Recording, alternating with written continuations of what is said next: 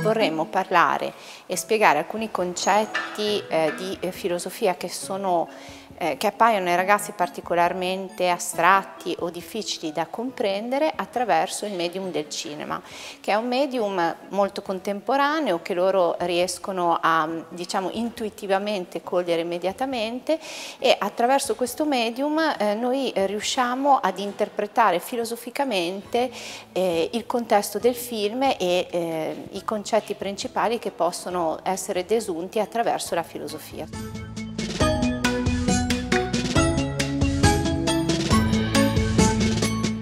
Piace molto questo format perché ci consente anche di ehm, fare filosofia al di fuori dell'aula scolastica, ci consente di fare cultura eh, nei luoghi eh, della città che sono adibiti alla costruzione di un dialogo culturale, quindi in un certo senso la scuola esce un po' dalle sue aule tradizionali e, e, ed entra in quelli che sono i templi della cultura. E infatti sono tanti anni ormai che collaboriamo con Star Cinema e durante eh, il Nightmare Film Festival, le visioni fantastiche, abbiamo potuto avere lo spazio di condurre queste masterclass di cinema e filosofia che sono sempre state piacevolmente partecipate dai ragazzi proprio perché eh, consentono un approccio un po' alternativo e diverso alla filosofia sostanzialmente.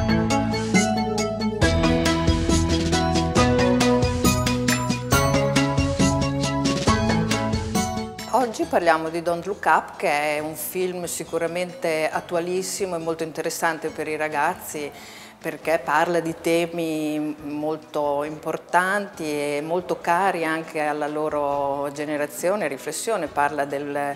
dei cambiamenti climatici, del modo in cui le informazioni vengono veicolate, manipolate eh, parleremo del relativismo dal punto di vista filosofico, andremo indietro fino agli antichi greci, Protagora, Gorgia e poi parleremo delle fallacie logiche, del linguaggio e anche de, di un nuovo concetto che secondo noi è importante da eh, conoscere che è il capitalismo della sorveglianza. Eh, per noi è importante attraverso questo film riflettere insieme ai nostri studenti sulla eh, situazione attuale e, e, per acquisire una maggiore consapevolezza eh, rispetto alla nostra posizione nella natura e per anche ehm, favorire dei comportamenti eh, ecologici e sani nel rispetto dell'ambiente eh, sociale e naturale.